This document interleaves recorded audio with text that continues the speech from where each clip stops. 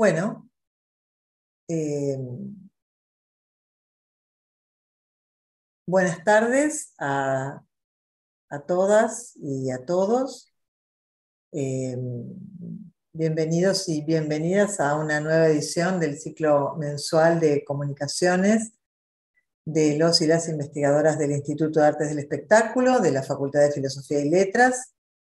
Bueno, en esta oportunidad recibimos al área de investigaciones en teatro y educación y a su codirectora, a Natacha Delgado. Eh, Natacha ya se había presentado, eh, si no me equivoco, Natacha, hace dos años te habías presentado junto con Mariano Scovena. Claro. Para, compartir eh, sus proyectos de investigación de ese momento y bueno, habida cuenta de que ya pasó, si no me equivoco, un año largo, me parece que estamos en condiciones de hablar de aquello que fue y de lo que de pronto eh, tienen previsto ¿no? hacer. Eh, y desde ya, por supuesto, eh, agradezco mucho tu, presencia y la posibilidad que tenemos ¿no? de saber de qué va en este, en este momento el área de teatro y educación. Así que, Natacha, te dejo la palabra. Bueno, muchas gracias, Daniela. La verdad es que es hermoso este, este momento porque, bueno, hoy tenemos invitades eh, en el Zoom, mis, alumnos de mm, la materia Políticas Educativas del profesorado de Andamio 90, que les agradezco mucho que me estén acompañando. Em, justamente en este momento de la materia estamos viendo algo que se conecta totalmente eh, con nuestros temas de investigación que llevamos a cabo con Mariano, porque estamos viendo em, la política educativa de la década del 90, que si bien tuvo este, cosas bastante, digamos, criticables de nuestro punto de vista, eh, como fue em, la ley de transferencias, y la Ley Federal de Educación, mismo la Ley Federal de Educación, con todo lo que podemos eh, criticar, eh, también fue el puntapié inicial para que el teatro empiece a estar como eh, materia obligatoria en la escuela en el sistema educativo y empiecen a formarse, a crearse los profesorados de teatro, porque se, necesitaban profesores para eh, poder cubrir esos cargos, ¿sí? profesores con título.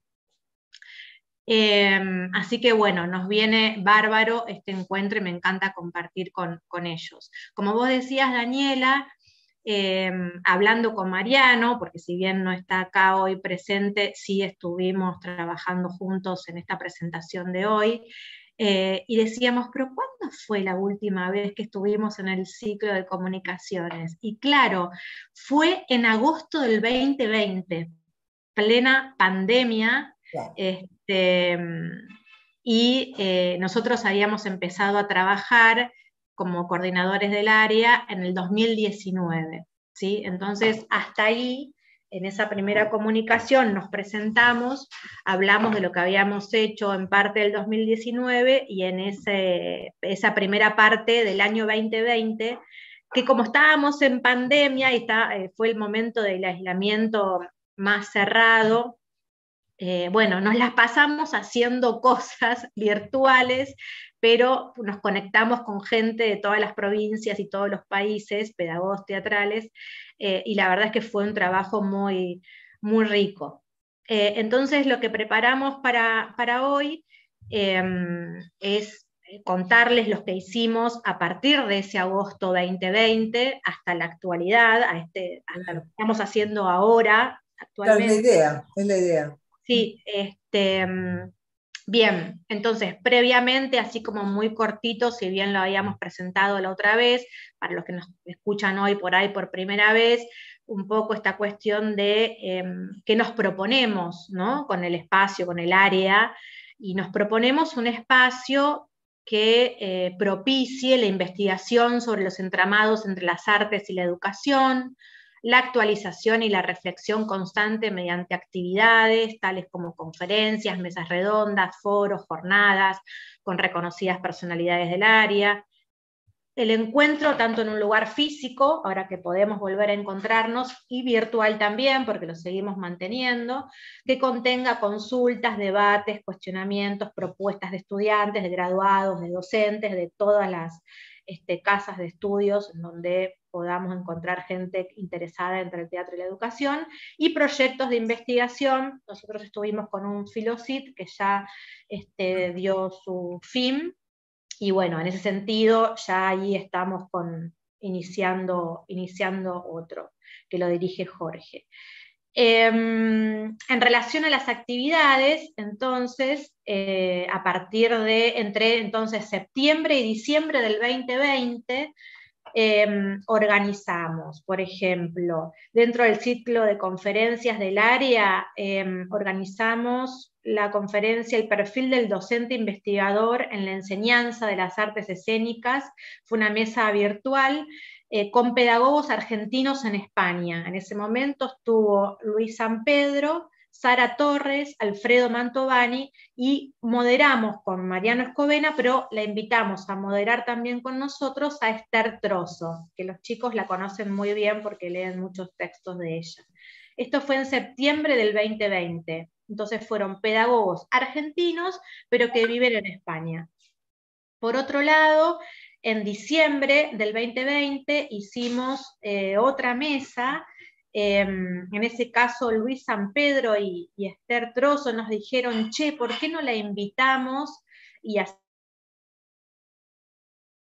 Inés Abrile de Volmer, que ella fue, em, fue ministra de Educación del gobierno de Mendoza este, a fines de la década del 80, a principios de los 90, y fue quien eh, escribió todos los artículos de la Ley Federal de Educación que tienen que ver con educación artística y particularmente con teatro. Ella convocó en ese momento a Esther Trozo y a Luis San Pedro para que trabajaran en los diseños curriculares. Entonces hicimos esta actividad dentro de las 26 jornadas nacionales de teatro comparado. Esto fue en diciembre del 2020. Em, luego, eh, en esos meses también, de finales del 2020, principios del 2021, escribimos artículos, tanto Mariano como yo, eh, para el libro de la ENSAD, cuyo copilador y editor es Jorge Dubati, em, el libro Artistas, Investigadoras, Investigadores y Producción de Conocimiento desde la escena, una filosofía de la praxis teatral. Y participamos de la participación de dicho libro.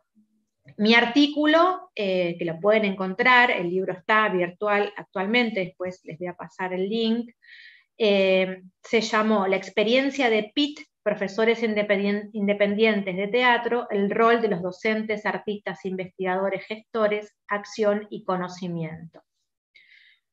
Bien, em, luego, durante el año 2021, o sea, todo el año pasado, participamos en las terceras jornadas internacionales de teoría, historia y gestión del espectador teatral.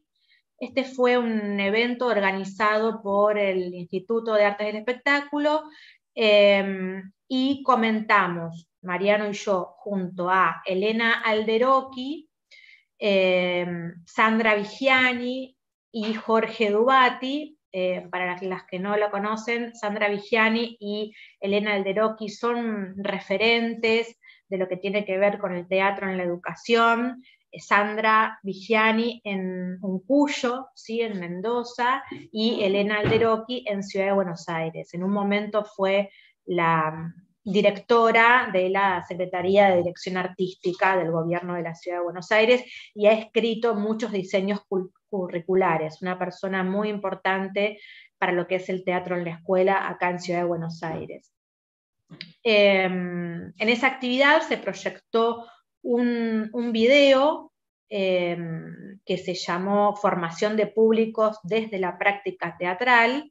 El video era dirigido por Jonathan Pizarro, de la Maestría en Gestión Cultural de la Universidad Politécnica Salesiana en Cuenca, Ecuador. Eh, veíamos el video que era una experiencia de talleres de teatro en escuelas en Ecuador, eh, y junto con Sandra Vigiani y Elena Alderocchi y Jorge Dubati, eh, comentábamos la relevancia de esta experiencia y le hacíamos preguntas al director del taller y del video, Jonathan Pizarro. Este era un, como un proyecto de maestría de tesis de maestría de él, que lo había hecho en formato, digamos así, video documental. Por otro lado, junto con Mariano, publicamos en la revista Trayectoria, Práctica Docente en Educación Artística, esta revista, y es para que tomen nota también eh, los estudiantes y los que estén interesados en leer artículos eh, especializados en teatro y educación, eh, la revista Trayectoria es una revista de la UNICEN, ¿sí? de la Universidad del Centro eh, de la provincia de Buenos Aires, que era en Tandil. Em, y es una revista que la pueden encontrar de manera virtual, inclusive, bueno, yo acá en lo que estoy viendo para guiarme en lo que les voy diciendo está el link, después se los voy a pasar para que puedan entrar tanto a los diferentes números de esta revista como em, al artículo que nosotros presentamos, que en esta oportunidad el artículo em, se llamaba y tenía como tema Pedagogía Teatral y Nuevas Tecnologías, consideraciones generales para un diálogo complejo. Mm. Em, y mismo en la revista Trayectoria también, ese mismo año, em, me, convocaron este, Marcela Bertoldi, em, se me fue el nombre, María Cristina Di Mateo, que son las este, referentes de la Universidad del Centro y directoras de la revista Trayectoria, me convocaron para que le haga una entrevista a la dramaturga Florencia Aroldi. ¿sí? Eh, Florencia es una dramaturga que eh, escribe obras que están en cartel actualmente, por ejemplo, Scalabrini, sobre la vida de Scalabrini Ortiz, eh, pero siempre se profundizó y focalizó bastante en escribir obras, dramaturgias que se puedan trabajar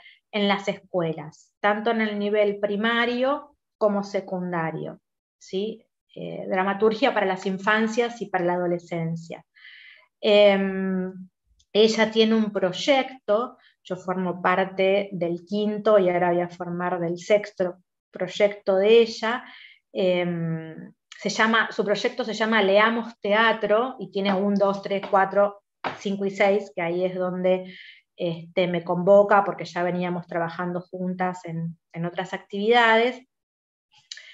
Em, este proyecto Leamos Teatro, es, ella lo hace con ayuda a veces o del Instituto Nacional de Teatro o de mecenazgo, ¿no? Em, tiene para poder, para que se lo puedan aprobar, tiene que tener avales ¿no? de diferentes referentes en relación a la educación.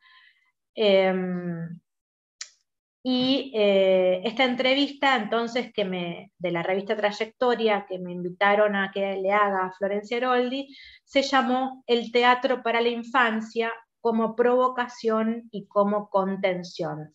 Yo le puse ese título porque tiene que ver con algo que salió de la entrevista em, y que es como ella piensa el teatro justamente para la infancia, ¿no? como para como para provocar, para estimular, provocación en el sentido de estimulación, ¿no? de, que los chicos se pongan curiosos y al mismo tiempo contenerlos. En esta entrevista ella justamente nos cuenta cómo es que empezó a escribir para, las infancias y recuerda su propia historia, ¿no? su propia historia ella de niña eh, y su relación con el teatro.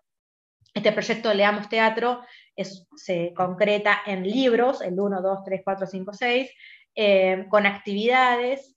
Eh, la idea es que lo trabajan las maestras, los profes en las escuelas, Em, y en los momentos de presencialidad, ella se acerca a las escuelas a hacer también actividades. Bueno, yo le hice esta entrevista y al mismo tiempo, ella después cuando me convoca para Leamos Teatro 5, que ya salió el libro publicado, ese es para, para la escuela, para el nivel medio, son obras para secundaria, con actividades para secundaria. Yo ahí escribí las guías didácticas y algunos artículos muy breves, introductorios y sintéticos sobre la historia del teatro eh, universal, la historia del teatro argentino y eh, algunos elementos para pensar una puesta en escena. Em, bien, eso viene después, pero como estaba hablándoles del proyecto Leamos Teatro, se los conté ahora. Bien, siguiendo con el 2021, entonces con Mariano Escovena organizamos el segundo encuentro de publicaciones sobre teatro y educación. Eh, en el 2020 habíamos organizado el primer encuentro, que seguramente se lo contamos en la comunicación anterior, y como nuestra idea es que sea cada dos años, eh, bueno, ya tocaba hacer el segundo encuentro, así que lo, realizamos desde acá, desde el IAE, Em, y en ese momento, en esta oportunidad, que esto ya fue en septiembre del 2021, participaron Florencia Aroldi, Fabián Sevilla, Cristian Vélez, como dramaturgos para las infancias, ¿no? o sea, publicaciones de obras para chicos. Y eh, también participaron eh, el director y eh, escritores de la revista El Anzuelo, que es otra revista para tomar nota, digamos, son al menos estas dos las más relevantes para los que les interese la relación entre teatro y educación. El anzuelo de em, que lo hacen el nodo dramatiza La Plata, ¿sí? Mm. que Víctor Galestock es el referente, y como les dije antes, la revista Trayectoria de la Universidad del Centro. Entonces, invitamos a la gente del Anzuelo, Víctor Galestock, María Lucía Sáez, Mariana del Mármol, Gabriela Untenkaps, Federico Braude. Bien, y de la revista Trayectoria, ¿no? a nuestras amigas y referentes clarísimas del teatro en la educación, esto para que los alumnos subrayen, María Elsa Chapato, Marcela Bertoldi y María Cristina Di Mateo estuvieron presentes en el Zoom en este encuentro que les estoy comentando. También hubo invitados de otra revista, de la revista Dramaturgia Corporal, em, cuyas referentes son Celeste Álvarez y Daniela Funes, la revista Insomne, que es eh, la revista de esta agrupación que mencioné antes, PIT, em, Profesores Independientes de Teatro, estuvo Marina Barbera para presentarla y hubo un homenaje a una revista que ya no se hace más porque mm, acá no tengo anotado el director de la revista, pero falleció y no pudieron este, seguir porque nos dijeron que era como el eje de todo, la revista Ayohuma, y entonces la presentación en homenaje la hizo Sandra Vigiani. Esto fue en septiembre del 2021. En el mismo año se realizó el 21 encuentro Dramatiza de la Red Nacional de Profesores de Teatro y participamos como expositores eh, de manera virtual con el texto, con el trabajo Juegos Teatrales, Educación y Salud Psicofísica en tiempos de pandemia. Em, luego siguiendo con el 2021, fue un año muy rico el 2021, eh, participamos en la jornada de intercambio entre docentes, investigadores de enseñanza de teatro en contextos diversos, en el Centro de Estudios de Teatro, Educación y Consumos Culturales, Secretaría de Investigación y Posgrado de la UNICEN. Em, luego participamos como expositores en las 12 jornadas nacionales y 12 jornadas latinoamericanas de investigación y crítica teatral de INCRIT. y ahí presentamos nuestro artículo hacia una historización y cartografía del teatro en el sistema educativo argentino.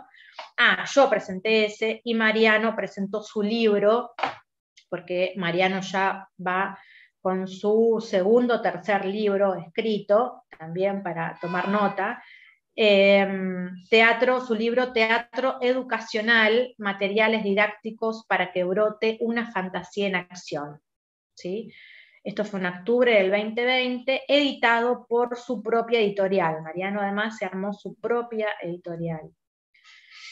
Eh, luego, ya en octubre del 2021, participamos del segundo Congreso Internacional de Teatro, primer Congreso de Pedagogías Teatrales de Morón, como coordinadores de la Mesa Pedagogías Teatrales, Historia, Legislación y Realidades Territoriales de Implementación del Teatro en la Escuela. Eh, nosotros eh, organizamos esa mesa, convocamos a los expositores y la moderamos. Y fue muy interesante porque también son como los nombres, ¿no? Como hubo como un referente de cada provincia. Eh, Esther Trozo por Mendoza, Julio Mercado por San Juan, Marita Cortés por Entre Ríos y María Cristina Di Mateo por Tandil. Fue una mesaza, como diría una que yo sé porque eh, eh, cada uno expuso cómo fue eh, la implementación del teatro en la escuela en cada una de sus provincias. ¿Y había divergencias en cuanto al modo de implementación? No, no, no, fue bastante, fue bastante parecido, porque fue toda una época en donde se iba implementando. El primero, el que dio el puntapié fue Mendoza, ¿sí? Este, después, si quieren, les cuento como un poco y tengo como este, ahí proyectos y artículos con respecto a eso. Pero fue todo un momento ahí como fines de los 80, que arranca con los intercolegiales y principios de los 90, impulsado por, por Mendoza, por el gobernador mendocino de ese momento. Em, bien. Em, Luego em, organizamos una conferencia con Jorge Eines, argentino radicado en España, vaciar lo universal para crear lo singular. Participamos como expositores de las primeras jornadas Pensamientos Teatrales Trasandinos, em, con la ponencia Juegos Teatrales, Educación y Salud Psicofísica y diálogos entre el teatro independiente y los enfoques de enseñanza en el nivel secundario el aporte de Alejandra Boero. Em, bien, luego por ahí se hace medio arduo todo esto, ya falta poco. Participamos en el tercer encuentro del trayecto de formación en el lenguaje de teatro en la escuela, disertando sobre contenidos teatrales, conceptos y prácticas. Esto lo organiza la Secretaría de Extensión y Derechos Humanos de la UADER presentamos el proyecto Universidad de Públicos, construyendo el acto escénico, en las terceras jornadas internacionales de teoría, historia y gestión del espectador, junto a Jorge Dubati y Natacha Cos.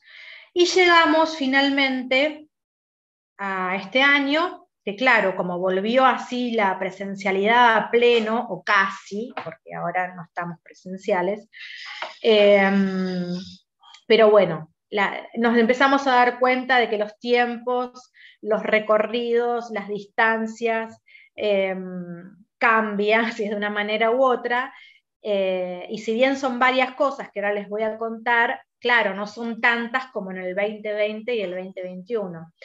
Em, hicimos, arrancamos ya desde el veranito, en febrero creamos eh, con Mariano el sitio web pedagogas teatrales en la ciudad de Buenos Aires.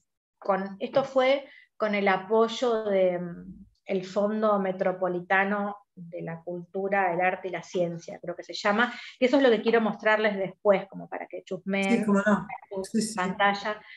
Em, termino esto y ya voy ahí. Em, bueno, la publicación en el libro eh, Leamos Teatro 5, que era lo que les había contado antes, Participamos en las sextas jornadas de investigación del IAE con el trabajo Pedagogía Teatral en la Ciudad de Buenos Aires, esto fue en marzo.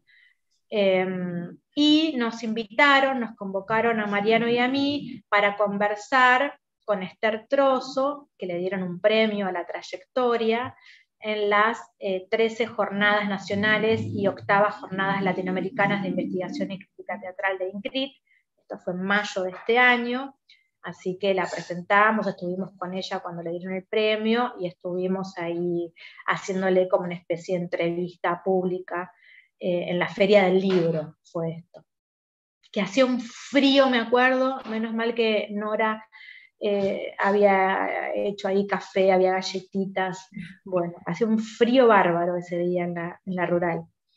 Em, bueno, y ahora estamos trabajando eh, en el proyecto Leamos Teatro 6, también para docentes y estudiantes del nivel medio, que son estas obras de Florencia Aroldi, y eh, yo que escribo las guías didácticas y los artículos, y esta vez va a estar como las obras que ella va a presentar eh, tienen que ver con la cuestión de la ESI, la diversidad de género, bueno, todo va a tener que ver como con, esa temática. Entonces voy, si quieren, ahora a compartir em,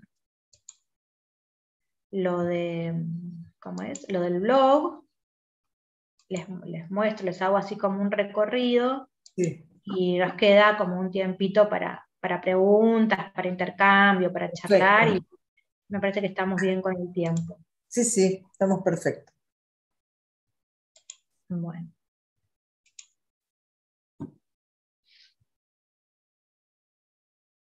¿Ya lo ven? Ahí. Sí. Bueno, está todavía en construcción. Nosotros ahora eh, en esta, en esta nueva etapa, digamos, la idea es concentrarnos un poco en lo que tiene que ver con las pedagogías teatrales en la ciudad de Buenos Aires eh, y sobre todo, al menos en este proyecto del blog y en, las, y en algunas cosas que estuvimos escribiendo, lo último que estuvimos escribiendo, tenía que ver con esto y en las pedagogas, ¿no? en, las, en las mujeres. También dado que nosotros venimos, tanto Mariano como yo, si bien yo soy graduada de, la UBA, de Artes Combinadas, este, los dos venimos de la casita, digamos, de Alejandra, de Alejandra Buero, aquella pedagoga, andamio 90, entonces, bueno, un poco inspirados.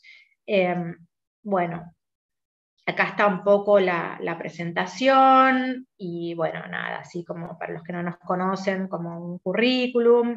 Esta es una foto ahí en el IAE presencial. Esto es cuando hicimos em, el primer encuentro de publicaciones periódicas. Este, entonces ahí están eh, María Cristina, Marcela Bertoldi, está Galestock, bueno, eh, ahí en el, en el, instituto, cuando, cuando hacíamos las cosas. Ese día hacía un calor, me acuerdo. Bueno, este, sí, bien, ahí salimos el 25 de mayo y a rodilla la calle. Bien, eh, y después venimos por acá, toda la parte técnica la armó Mariano, porque él no sé si terminó, pero estuvo haciendo como una especie de especialización en tecnologías y didáctica del teatro, no es una cosa así, así que la tiene más clara con, estas cuestiones. Eh, bueno, acá están como las diferentes como ítems, bueno, obvio Alejandra Agüero primero, ¿no? Como un directorio de pedagogas teatrales con algunos como videitos que fuimos encontrando, Cristina Vanegas, Elena Tritec, Hedy Krila, bueno, y seguimos. Em, después, títulos bibliográficos publicados por pedagogas. Acá hay algunos, ¿no? que están como las fotitos y la referencia. Beatriz Matar, Silvina Amaro, Cristina Vanega, Susana Pampín, Hilda Lola, Bien, esto es como para seguir completando. Eh, notas y artículos sobre pedagogas.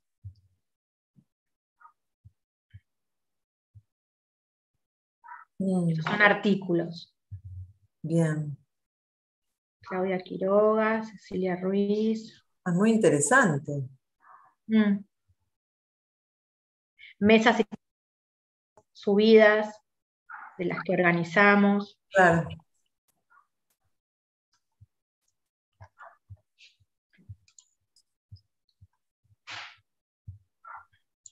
Ah, y acá son como videitos que también tenemos que seguir. Videitos o tipo podcast, me parece. Ajá. Vean que Mariano la tiene clara. Sí, son podcasts. Total. Donde les hacíamos como unas preguntas.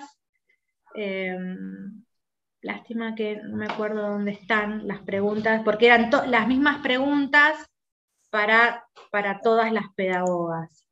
Eh, claro. bueno, no sé, no, no, me acuerdo dónde están ahora.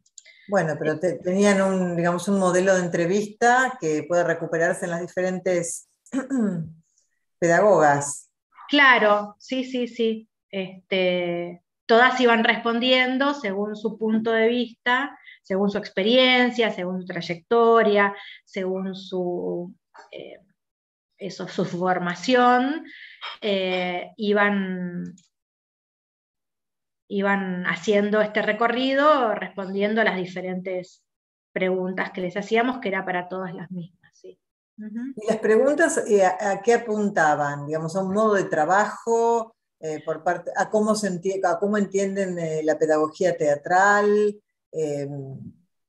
Eran, por ejemplo, en relación primero como a la formación, cómo se habían acercado al teatro, cómo habían decidido, además de por ahí actuar o dirigir, ser pedagoga, qué quería ser eh, pedagoga en la ciudad de Buenos Aires, cómo relacionaban como la pedagogía teatral y el teatro independiente, por ejemplo. Em, sí. Perdón, ¿por qué decís lo de la ciudad de Buenos Aires? Este, eh, porque habría diferencias con lo que sucede en otros espacios?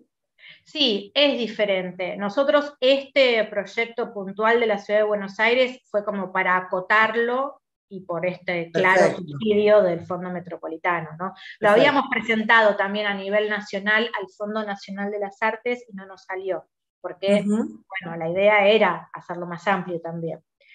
Em, pero sí, es bastante particular, porque em, por ejemplo, por eso, eh, a ver, las particularidades serían, acá en Ciudad de Buenos Aires eh, fue donde sobre todo, digamos, nació el teatro independiente allá, está bien, sabemos Barleta en el 30, pero después los otros centros de teatro independiente que fueron como la cuna de los grandes maestros, los grandes pedagogos, ¿no? Hablo tanto de Alejandra como de Aleso, Fernández, Gandolfo, ¿no?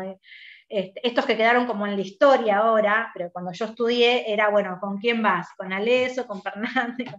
Em, bueno, ellos fueron como los grandes pedagogos que releyeron a Stanislavski, que, eh, que fue, Stanislavski, digamos, es el primero que empieza a pensar y a escribir sobre la formación actoral, ¿no? Esos textos, algunos traducidos, otros no, algunos editados, otros inéditos, llegan en la década del 40, estos maestros lo toman, hacen grupos de estudios, cada uno hace, empieza a hacer como sus versiones, ¿no? Y sus escuelas, cada maestrito con su librito, digamos. Em, de la mano de, de Hedy Krila, ¿no? Y claro, algunos, sobre todo al eso, sobre todo al eso. Este, la no, la como que se fue como para otro lado. Em, y em, si bien primero funcionaba acá en Ciudad de Buenos Aires la idea como de grupo, de compañía, a medida que fue pasando el tiempo, quedaron las escuelas, pero después lo característico son los, los elencos eventuales por obras, ¿no? Y que se conforman para hacer cierta obra o para hacer cierta otra. En cambio, las provincias conservó más esta cuestión de grupo, de grupo de teatro que em, eh, se, capacita todo el se tiempo. Perpetúa. que se perpetúa, que hacen diferentes obras, el mismo grupo, por ahí van intercambiando roles, o sea, continúan de alguna manera con lo que era el principio del teatro independiente. Em, eso por un lado, después también el teatro universitario. El teatro universitario en las provincias tiene mucho más relevancia que acá. Em, y no sé si es por eso o por qué, pero el teatro en las escuelas, como les decía, eh, nace por una idea mendocina. Eh, eso yo tengo un artículo escrito sobre eso y es en realidad lo que siempre cuenta este, Esther cuando le preguntamos, Esther Trozo, y, esta mujer, María Inés Aprile. Em, el cuentito, digamos, de la historia del teatro en las escuelas es que ya venían haciéndose los intercolegiales en Mendoza, en Córdoba también, en Tucumán, pero eh, Mendoza empieza a tener un proyecto piloto en una escuela en donde eh, María Inés, que es esta la que después termina siendo ministra de Educación de Mendoza, era directora de una escuela donde Esther Trozo era profe, era maestra y profe. A esa escuela iban los hijos del gobernador de Mendoza, eh, Bordón, eh, del Partido Justicialista, en 1988, eh, él se maravilla de lo bien que le hace el teatro a sus hijos adolescentes. y cuando, entonces, cuando él asume como gobernador, se lleva a la directora de la escuela de los hijos como ministra de educación de su provincia y le dice, quiero que hagas lo que hiciste en la escuela, la escuela italiana, de Mendoza eh, en la provincia de Mendoza. Bueno, pero necesito presupuesto, necesito recursos técnicos, necesito... Sí, sí, yo, o sea, dio, eh, otorgó presupuesto educativo para este, como un proyecto piloto, para que en todas las escuelas de Mendoza esté teatro eh, como obligatorio. Creo que al principio podías elegir entre tres lenguajes, pero sí había como un módulo eh, de arte que sí o sí tenía que estar en todas las escuelas. Parece que funcionó maravilloso.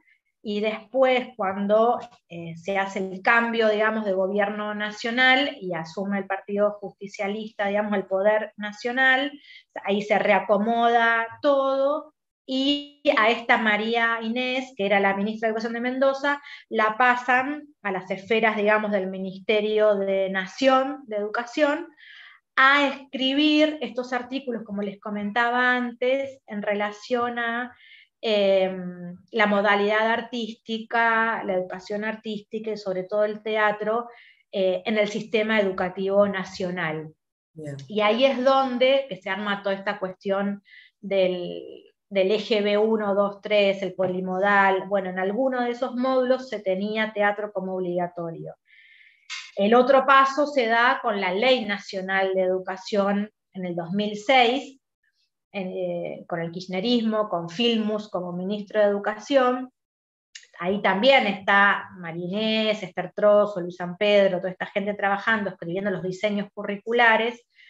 Em, y está claramente explícito la cuestión de la modalidad artística dentro de las ocho modalidades que existen se organiza en cuatro niveles, ya ahí la secundaria empieza a ser obligatoria, que nunca había sido, recién en el 2006 la escuela secundaria es obligatoria, eh, y las ocho modalidades, entre ellas la educación artística.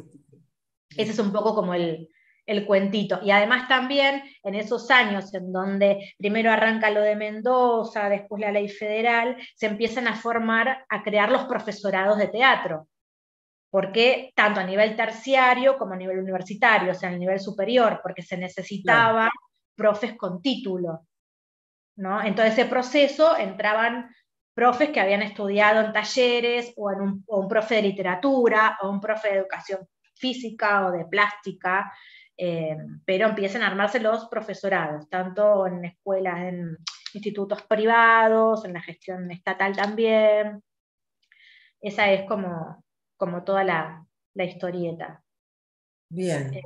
Eh, yo tengo una pregunta, Natacha, eh, a partir de lo, que, de lo que estuviste punteando.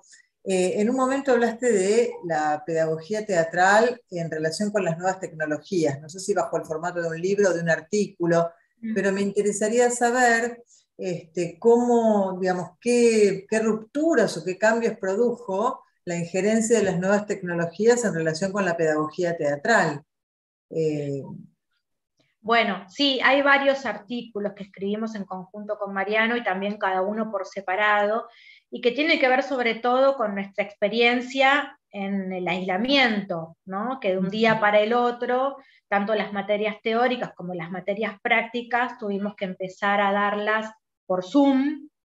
Claro, eh, lo pienso en términos de que el teatro, digamos, es el, como el imperio del cuerpo vivo del actor y de la actriz, ¿no? Y, qué pasa con esta, eh, cómo se juega en, el en, la pedagogía, ¿no? del teatro a través de las tecnologías. Y bueno, ahí, digamos, había como muchas discusiones, muchos debates entre profesores, nosotros fuimos tomando como las diferentes voces, también buscamos un marco teórico para poder eh, ¿no? anclarnos, encuadrarnos, em, pero digamos, habría como dos grandes vertientes, digamos. Una, la del hacer como que acá no pasa nada y entonces eh, hago como si estuviese con los demás, como si estuviese en un espacio grande. Eh, eso sería una vertiente, las dos tienen como sus pros y sus contras, y yo creo que se puede como usar por momentos una y por momentos otra. Y la otra es hacer uso del dispositivo. ¿no? Hacer uso de la cámara, no para hacer actuación para cámara, eh, pero eh, traerlo al juego, ¿no? Al juego teatral mismo, pero bueno, jugando, que estoy experimentando. cuadradito, que tengo una cámara, que puedo de repente desaparecer, que puede de repente actuar solamente una mano, em, sin perder el juego teatral. Bueno, y una tercera vertiente sería, bueno, aprovechar y veamos qué pasa con el primer plano, ¿no? Serían como, como tres diferentes. Em, yo en un momento, en un artículo que escribí, lo cito a, a Guillermo Cacache, en una entrevista que le habían hecho y que me encantó lo que había dicho porque hablaba como de la urgencia de comunicarse, ¿no? Como que de alguna manera, aunque sean estos cuadraditos, estar presentes y encontrarnos, ¿no? Y entonces yo a eso le sumaba, bueno, pero a ver, ¿por qué no podemos trabajar, ¿no? Tomando eh, lo, básico de estructura dramática y lo básico de Stanislavski. Eh, bueno, a ver, tengo un conflicto con el otro, el otro me mira, no me mira, no lo puedo agarrar, es un conflicto claro, lo, quiero abrazar, lo quiero besar, le quiero pegar y no puedo, es el, ¿no? Entonces, bueno, trabajemos con eso. Y me preguntaba cuántas veces por ahí, en el aquí y ahora del espacio concreto al mismo tiempo, por ahí puede hasta haber dificultad para lograr ese encuentro, ¿no? Ese abrazo, ese beso, esa lucha, eh, que no es que, ah, bueno, el encuentro te facilita todo, como que es un, puede ser un pretexto también. Por supuesto, por supuesto. Y otra de, pregunta que tengo mm, para hacerte, después ustedes, por supuesto, los demás quieren preguntar desde ya, pero no quería olvidarme de esta. Si vos encontrás em, que hay algún tipo de especificidad respecto del trabajo que haces con Florencia Aroldi, si hay algún tipo de especificidad en el trabajo dramatúrgico de las infancias y la adolescencia, ¿no? Si eso también incluye el aspecto, o sea, si necesariamente el, aspecto pedagógico está incluido, eh, en fin, si, hay alguna particularidad que tenga ese tipo de dramaturgia pensada, digamos, en un ámbito a lo mejor que es pedagógico, ¿no? Claro. Y lo que pasa es que en realidad eh, Florencia escribe todas sus, yo creo que todas sus obras son pedagógicas, hasta las que son para los adultos, pero porque en las, cuando vos lees o ves una obra de ella, eh, algunas claramente, no sé, bueno, la historia de Scalabrini Ortiz, bueno, obvio, ¿no?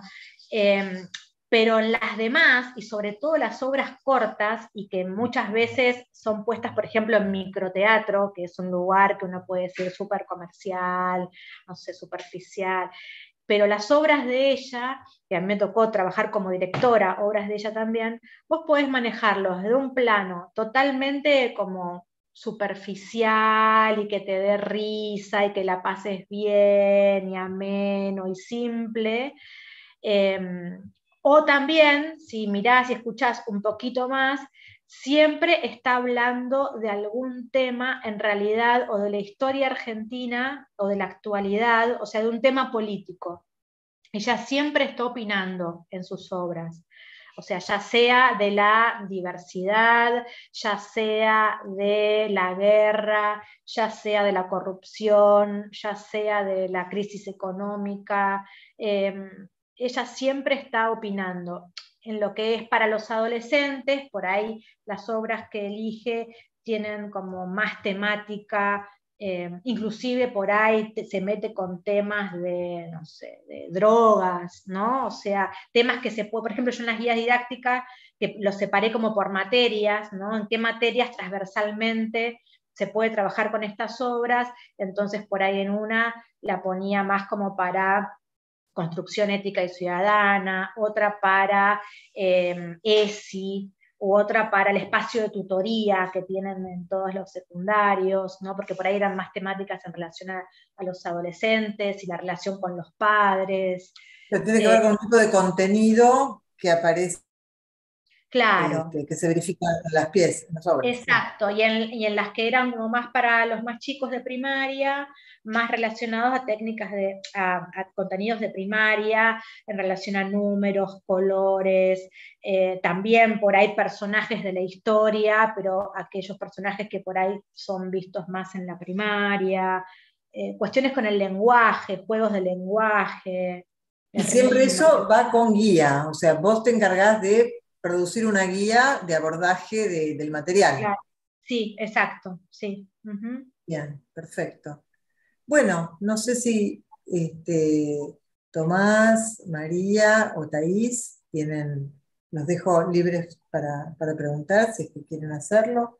Eso manejalo vos, Natacha. Sí, o algún comentario, no sé, es todo un momento que estén acá. Chiques, me encanta compartiendo algo conmigo que tiene que ver con lo mismo que vemos en clase, pero por fuera.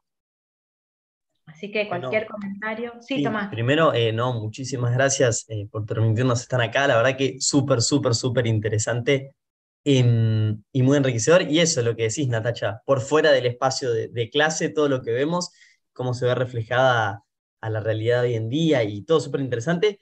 Y nada, quiero, quiero aprender más, quiero saber más de, todo esto. No sé si van a seguir, si hay más jornadas. estuve chusmeando ahí un poquito en el Facebook antes, y Natacha nos comentó, no sé cómo funciona. El ciclo, decís, el ciclo mensual. Sí, es un ciclo, mira, que empezó como hace cuatro años y todos los meses, bueno, el Instituto de Arte del Espectáculo tiene una cantidad muy importante de áreas eh, específicas. De pronto eh, teatro y judeidad, eh, movimiento, performance, eh, artes musicales, artes escénicas,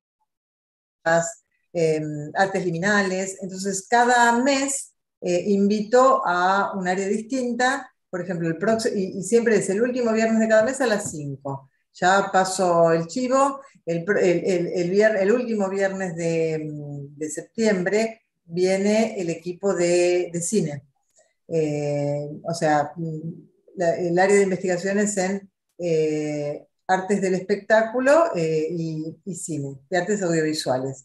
Así que cada mes se presenta un área diferente justamente para plantear este, qué tipo de investigación está realizando y para que todos los investigadores que estamos, em, que integramos el instituto sepamos también, ¿no? Pongamos a circular las especificidades de cada una de las investigaciones, porque de verdad que las áreas son muchas. Así que a lo mejor puede resonar, uno no sabe que hay algo que está eh, circulando y bueno, y puede resonar incluso para, para optimizar la, la propia investigación, ¿no? Y además también, Daniela, bueno, comentarles a, acá a los chicos y a los que están viendo por, YouTube, pueden entrar a la página, al, sí, a la página del Instituto de Artes del Espectáculo, lo ponen así en Google y les va a salir la agenda de todas las actividades del mes eh, que pueden participar. Y, mm, en el canal de YouTube del instituto están colgadas todas las, por ejemplo, muchas de las que les comentamos acá, que habíamos hecho con Mariano, pero también de todas las áreas, quedan colgadas ahí en el canal de YouTube del instituto. Así que tienen para entretenerse. Bueno, acá tengo un mensaje de Susana Civitilio, que, es, siempre nos acompaña. Eh, Natacha y Mariano, felicitaciones por todo el trabajo de investigación y publicaciones que están realizando. Así que comentáselo también a Mariano. Bueno. Los, los felicita. Bárbaro. Chicas, no sé si quieren algo y ya en breve tendríamos que ir terminando. Sí, sí como dijo Tommy, eh, bueno, agradecerles por, por el espacio.